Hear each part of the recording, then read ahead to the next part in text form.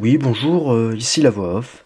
Contrairement aux apparences, cette vidéo n'est pas un tuto pour faire un poulet basquez, mais bien une vidéo sur l'expertise immobilière. Bonne vidéo à tous.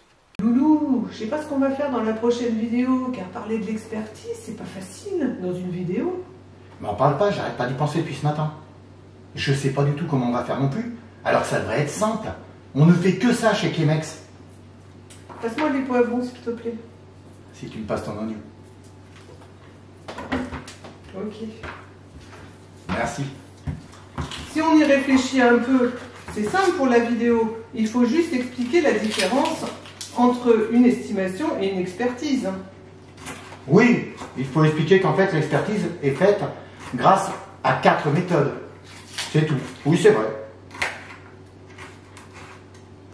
Oui, on a la méthode comparative, la méthode additionnelle, la méthode du marché apparent et la méthode locative. C'est tout?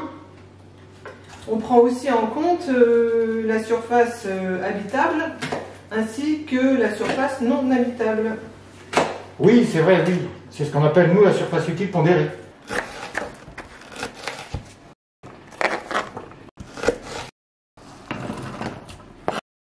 Oui, on pourrait dire euh, donc euh, que l'expertise, c'est la moyenne des quatre méthodes qui nous donne la valeur vénale du bien.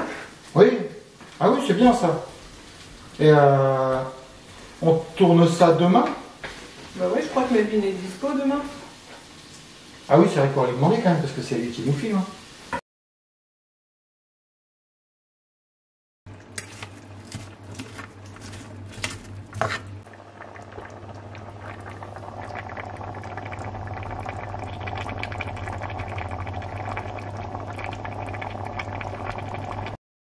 Si cette vidéo vous a plu, n'hésitez pas à la liker et à la partager. On se retrouve très bientôt pour une nouvelle vidéo.